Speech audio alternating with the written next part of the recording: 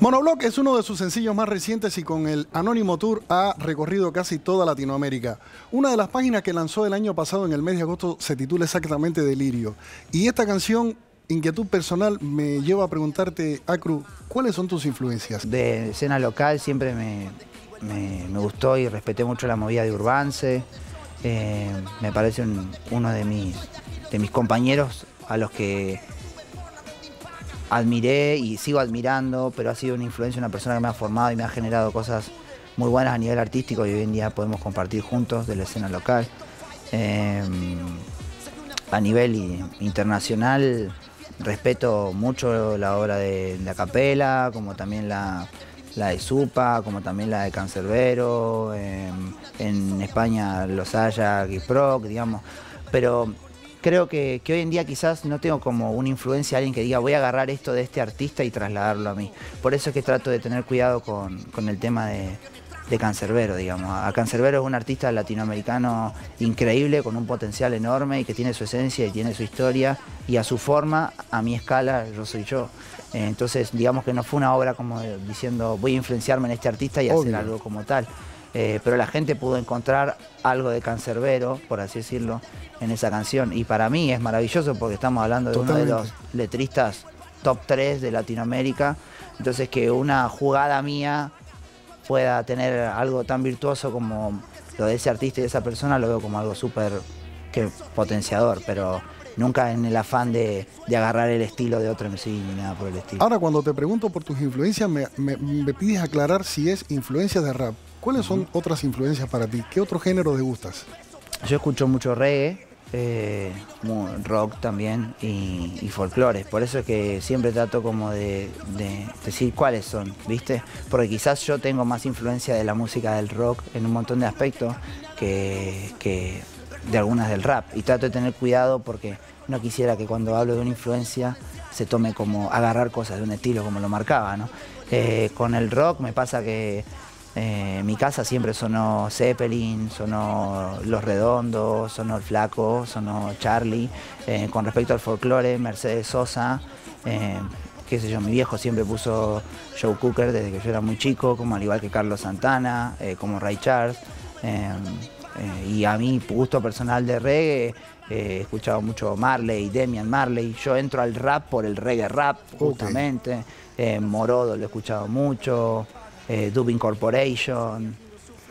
Eh, dices que entras al rap eh, así por ellos, ¿no? Pero justamente yo te quería preguntar cómo empezaste. Resulta ser que en el 2018 sacaste una canción que se titula Hattori Hanson. Sí. En esa trabajaste con DJ Destroy. Ahí este, tiras un. aclaras que a los 14 años salieron tus primeras rimas, ¿no? Pero también en ese video te vi bailar. ¿Eres tú el que baila? No, no, no, soy yo el que baila. Ah, ok. varios se han confundido pensando que soy yo el que baila. Entre ellos ¿eh? yo. Sí, pero no, no, ojalá, ojalá. Te digo que sería un desbloqueo energético maravilloso. ¿Y cómo arrancaste entonces? Yo entro en el mundo del hip hop a los 11 años porque empiezo a estudiar en una escuela de arte pública se llama Polivalente de Arte, en el afán de volverme ilustrador. Yo quería ser ilustrador de cómic cuando era chico. Entonces ¿Te gusta el dibujo? Sí, me encanta. Me, ah, mira. me encanta. Y entré a estudiar eso y estaba como remetido eh, y en el primer año me pasa que salgo a un recreo y veo gente rapeando ahí. Y yo dije, lo primero que dije fue reggaetón, porque yo era chico y, sonaba reggaetón, digamos, Teo, Cal, eh, Teo Cal, del Daddy, Don Omar.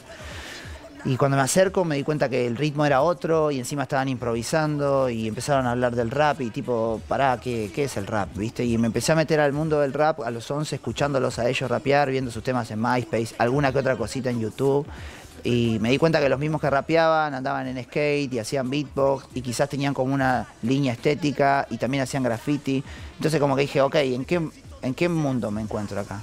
Y como no me animaba a rapear, empecé por el beatbox y por el graffiti. Estuve mucho tiempo en la disciplina hasta que en un momento esa gente que a mí me influenció en ese colegio, digamos, egresaron porque eran más grandes. Dije, acá no hay nadie rapeando, ¿cómo puede ser que no haya nadie rapeando? Yo tuve años viendo gente rapear en este colegio y ahora no hay nadie. Entonces, che, a nosotros tres nos gusta esto.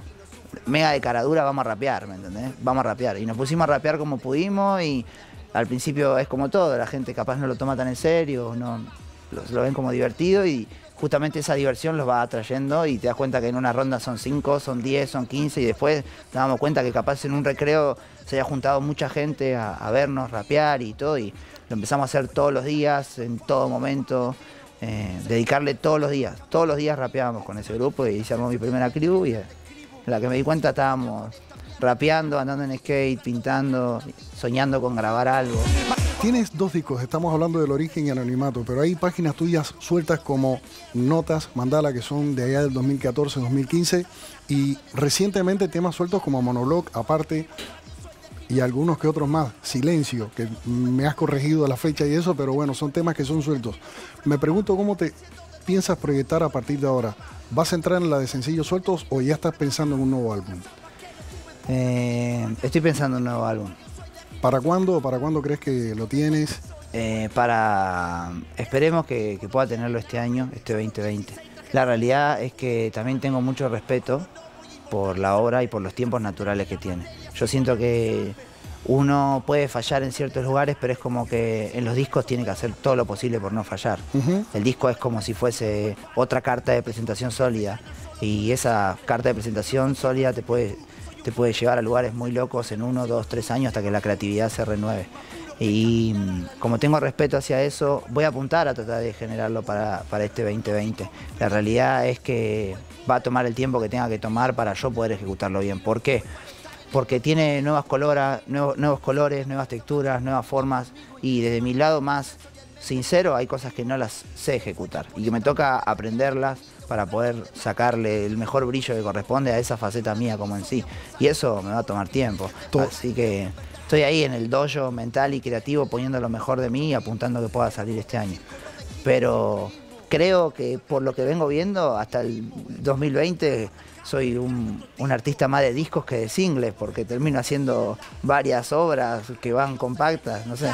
¿Cuáles son las redes? Las redes son acru.roman y ACR1, que sería ACR1 en Twitter. Esas son las dos redes que estamos usando y por nuestro canal de YouTube que siempre sale la data. Brother, te felicito por todo lo que estás logrando. Muchas gracias por venir acá a compartir con tu música y a venir a compartir con nosotros.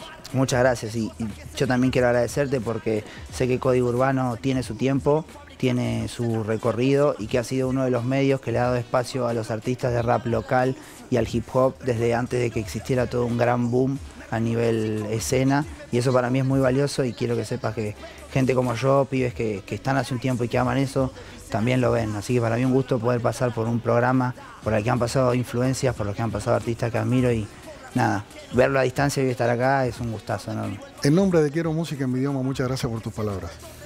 Así llegamos al final de este programa. Nos vemos la próxima semana con mucho más código urbano. Eh, y siempre nos gusta decirte algo bonito para despedirnos. Esta vez te decimos que si quieres volar, tienes que desprenderte de las cosas que pesan. Nos vemos la próxima semana.